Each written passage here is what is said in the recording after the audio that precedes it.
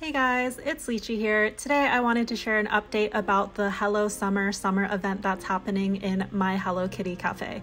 So I basically finally found the limit for what it takes to stop collecting the amber and shells for the day. Pretty much, the, I was attending my third parade of the day and I finally hit the error message where it says you've hit the maximum amount of presents.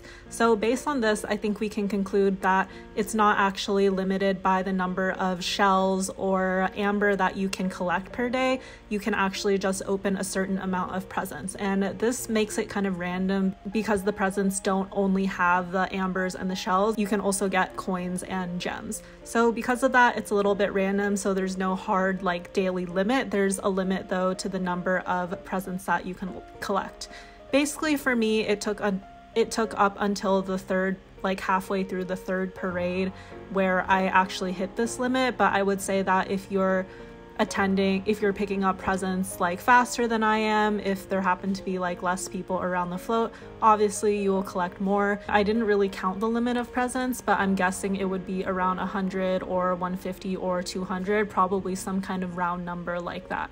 So if you guys have more information about this, please leave it in the comments and share. But that's what I have for you guys today. See you guys next time. Bye.